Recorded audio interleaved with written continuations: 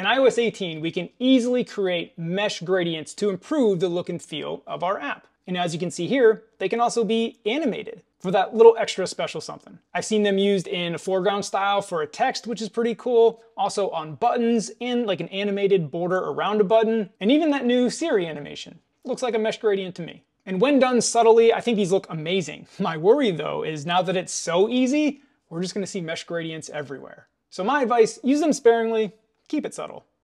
Today's video is sponsored by Squarespace. We can now transition from one view to another using a zoom transition. And when you use this, it replaces the old slide in from the left transition with a zoom. And when you tap the back button, it collapses back into the item that it came from. And this zoom transition also works with sheets or full screen covers, and it just feels so natural on a grid UI to zoom in out of the item and then collapse back into the item when you tap on it.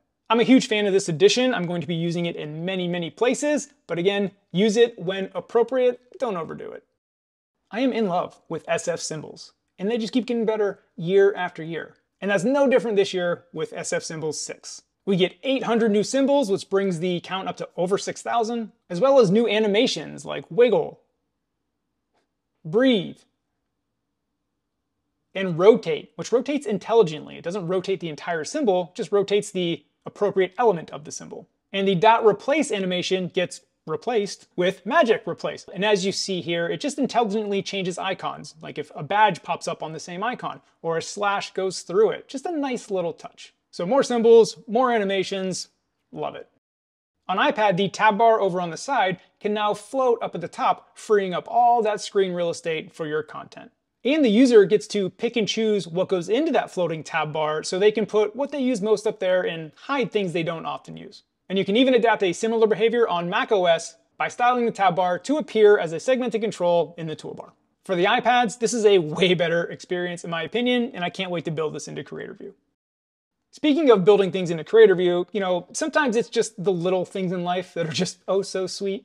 And this next improvement is a small one, but I love it. You can now indicate sheet size on the iPad. For example, you can indicate .form so you get a proper size sheet for a form, not this gigantic unnecessary sheet for a small form. Now I know this small form could be a popover view like you see like on the calendar app, but it's just to demonstrate how ridiculous the sheet size is. But no more, no more. We can indicate .form to get a much smaller, more reasonable sheet size. Or better yet, you can specify a custom size to make it however you like. So no more giant sheets for everything on iPad. This is great.